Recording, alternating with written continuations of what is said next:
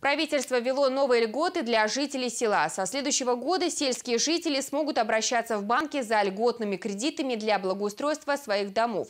Правительство будет субсидировать процентные ставки, чтобы для граждан они не превышали 5%.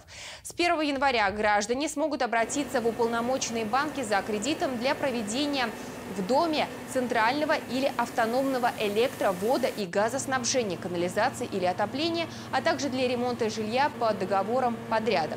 Размер кредита для большинства регионов ограничен в 250 тысяч рублей. Полностью исключены из программы внутригородские муниципальные образования Москвы и Санкт-Петербурга, а также муниципальное образование и городские округа Московской области. Еще одно условие касается срока кредитного договора. Он не может превышать пяти лет.